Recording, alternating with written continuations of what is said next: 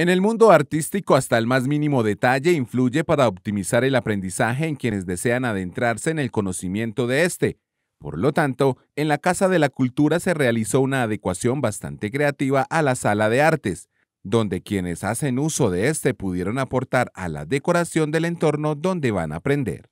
Empezamos pues como moviendo todo, restaurando las paredes, aún estamos en el proceso y lo pintamos así eh, porque nos gusta mucho un libro de cuentos chinos pues que nos encontramos y empezamos pues como a, darle vida al sitio con esto, con las grullas, con todo lo que está aquí. Y muchos chicos acá se fueron acercando como, ay, profe, yo quiero pintar, le ayudo a pintar el salón, pero es que me da miedo dañarlo.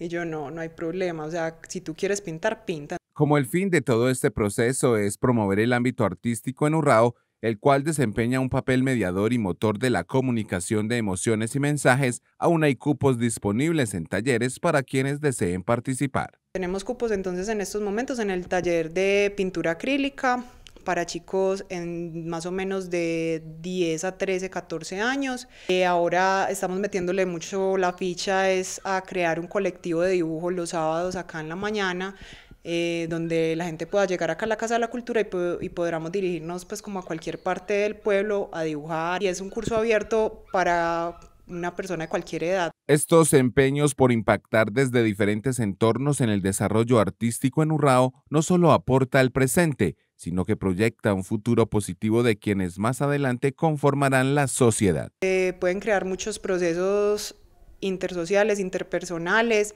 eh, de sanación. También el aprovechamiento del tiempo libre en los jóvenes es muy importante por el entorno social en el que vivimos. Entonces esto les ayudaría un montón para tener otra opción en la vida, pues además de todos los factores de riesgo que tienen en cualquier parte del mundo.